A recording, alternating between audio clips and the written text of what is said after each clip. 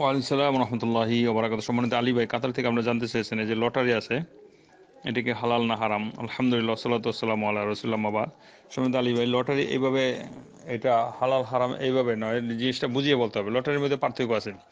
যেমন Bangladesh ব্যাংকগুলিতে prize bond ছাড়ে, বা অথবা অনেক, আপনার দেশেও, অন্যান্য দেশেও প্রাইজ বন্ড ছাড়ে। তারপরে এই যে আমাদের যে লটারি ছিল, রেড ক্রিসেন্টের লটারি দশ টাকা দিয়ে কিনলে চল্লিশ লক্ষ টাকা, এই টাকা সেই টাকা, এরকম এই সমস্ত লটারি ইসলামে সম্পূর্ণ নিষেধ। এবং জুয়ার অন্তর্ভুক্ত থেকে সতর্ক থাকতে হবে। এরই সাথে শরিক হওয়া যাবে না। আর এরকম কিছু বিষয় লটারি আরও আছে। সেই সমস্ত লটারিগুলি থেকে নিষেধ থাকতে হবে, দূরে থাকতে হবে। আর কিছু যেমন আপনি বলছেন মার্কেটের কথা, মার্কেটে মনে করেন আপনি একটা কিনতে গেছেন, তারা একটা প্রাইস ছাড়ছে। মনে করেন যে তারা একটা গাড়ি ছাড়ছে। এখন গাড়ি ছাড়ে দিছে, ওর মধ্যে গাড়িটার ই দিয়ে দিছে, লটারি দিয়ে দিছে।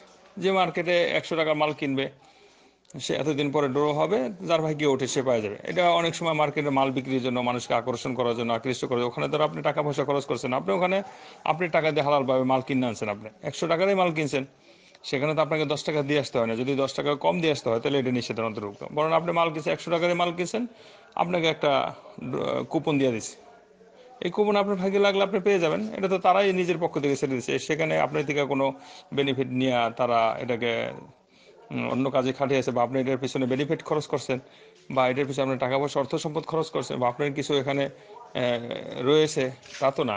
বরং আপনি যদি পেয়ে যান, তাহলে ভালো এই সমস্ত জিনিসগুলো। আপনি পাইলেন, আপনার আপনার এটা আসছে, ভাগ্যে আছে। এরকম অনেক সময় মার্কেটগুলি থাকে কোম্পানিগুলিতে করে থাকে।